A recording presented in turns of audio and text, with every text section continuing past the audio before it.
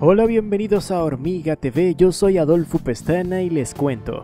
El presidente ejecutivo de Meta Platforms, Mark Zuckerberg, dijo a los empleados que WhatsApp y Messenger impulsarían la próxima ola de crecimiento de las ventas de la compañía, mientras buscaba calmar las preocupaciones sobre las finanzas de Meta después de sus primeros episodios masivos.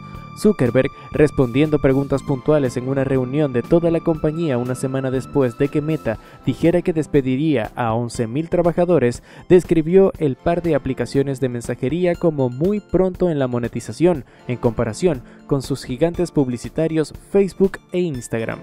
Con la redacción de César Burgos yo me despido hasta la próxima. Tú mientras tanto ve abajo, comenta, dale me gusta, suscríbete y activa las notificaciones para que disfrutes de mucho más contenido acá en Hormiga TV.